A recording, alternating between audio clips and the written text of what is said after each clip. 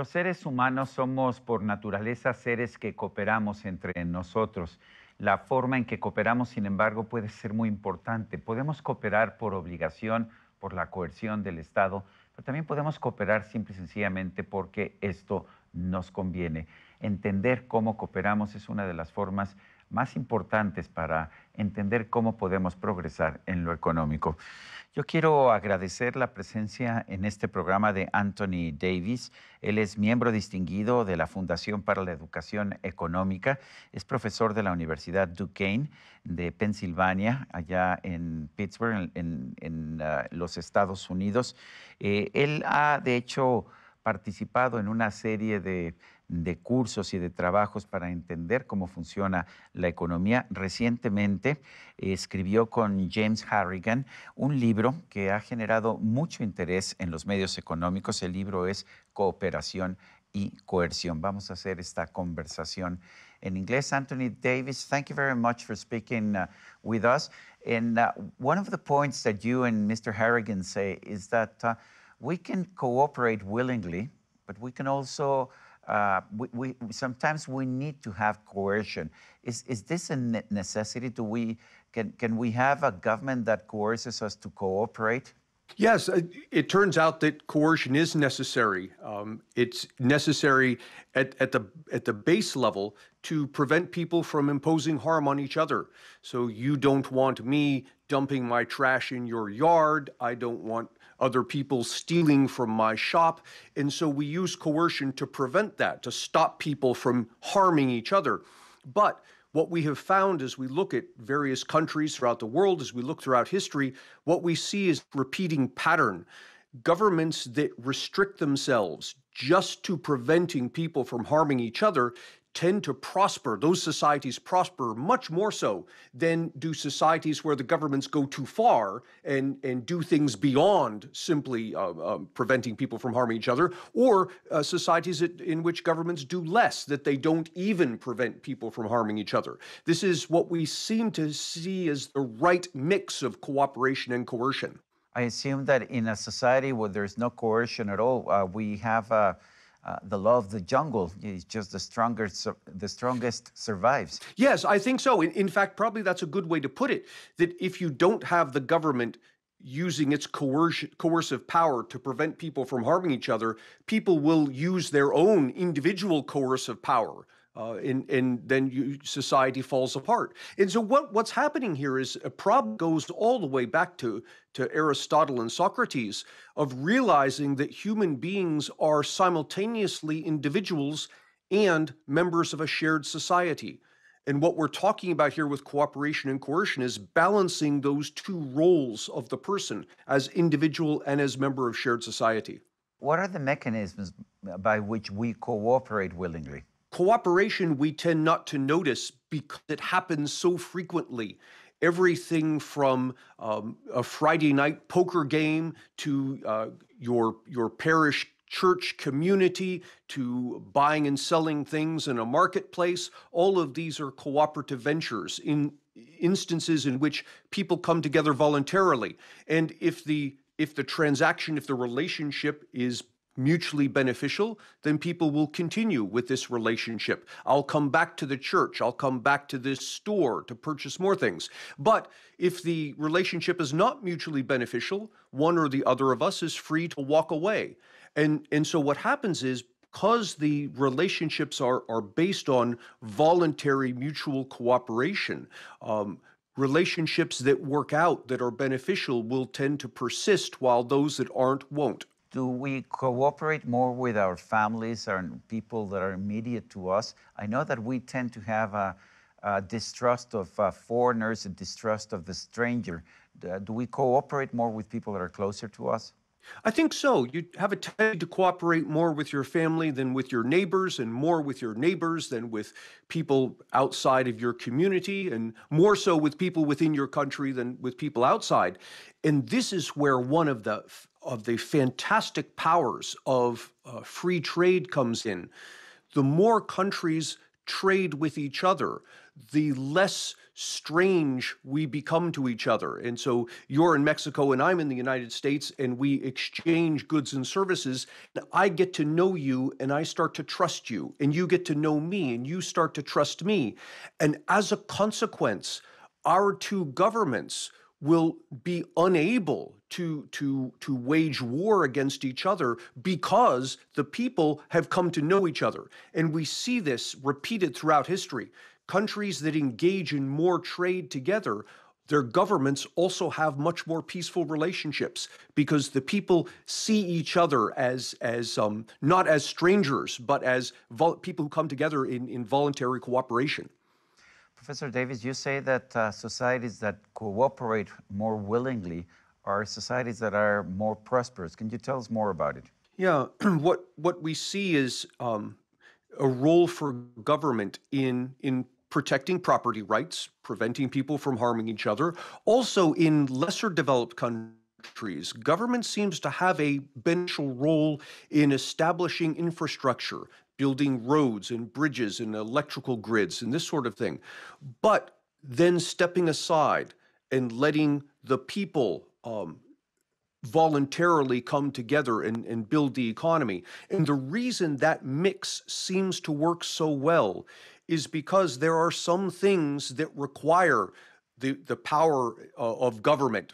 Building a road system is something that is is a huge undertaking that's more easier for a governmental entity that can use coercion than it is for for individuals in a marketplace.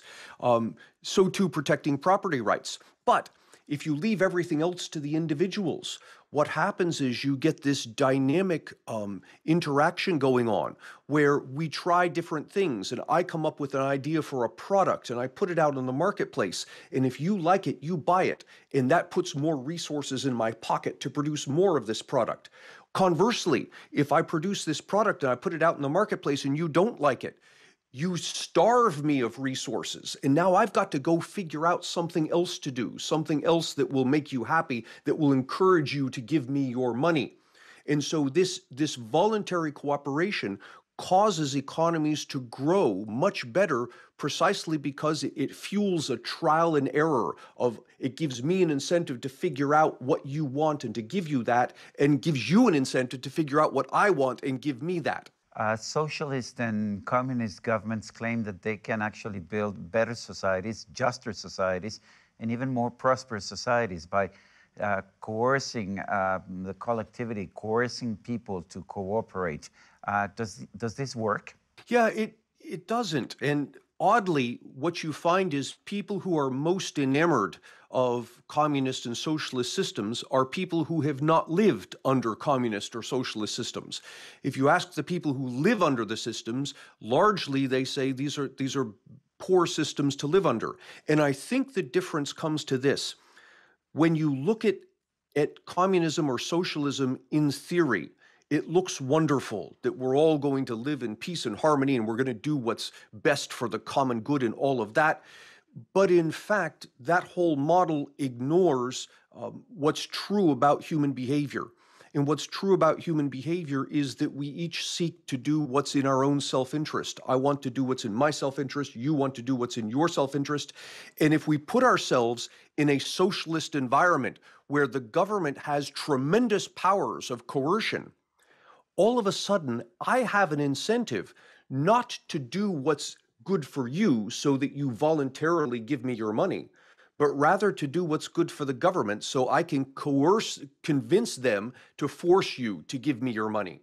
And what happens in the socialist environment in practice is instead of us all living together in peace and harmony, some of us who can co-opt the government end up co-opting the government for their own benefit to the to the uh, to the harm of everybody else. Uh, taxes are a form of coercion do they work? Do they, they make cooperation better, or taxes can actually be detrimental?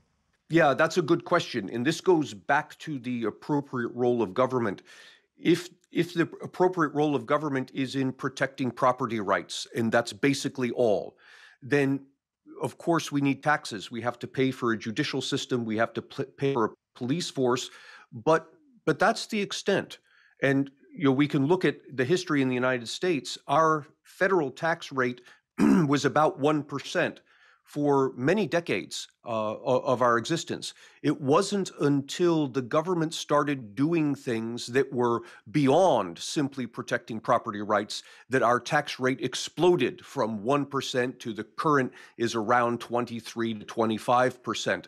And that extra 20, 23, 24 percentage points of taxes are all going to things that are government coercion, not in a good sense of protecting property rights and preventing people from harming each other, but government coercion in a bad sense, government deciding for us what sorts of goods and services we should have rather than us deciding that for ourselves.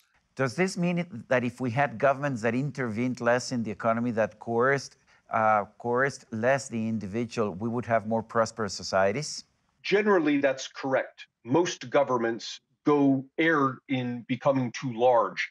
There are some governments, and people point, for example, to uh, to places where governments have failed, and they say things like, "Well, if less government is good, what about what about countries like Afghanistan, where they have virtually no government?"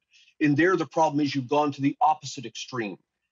Too little government can be bad. Too much government can be bad as well. The problem is the right amount of government, generally speaking, is much less than the than the amount of government uh, countries typically have. You have a very um, interesting metaphor in your book. It says that uh, the busybodies have become busy bullies. Um, I, I, found it rather fascinating. Could you explain that to us? Yes. The, the idea of a busybody is someone who puts their nose in your business so think about your neighbor who doesn't like how you live your life, and your neighbor's going to say things about you should do things differently. This is the busybody, and we all experience this, right? You come home from college for and have dinner with your your extended family, and your extended family has opinions as to how you should be living your life and what you should be doing. This is busybody. The problem here is when you combine a busybody with a government and all of a sudden, the busybodies can turn to government and co opt the government to force you to behave the way they want you to behave.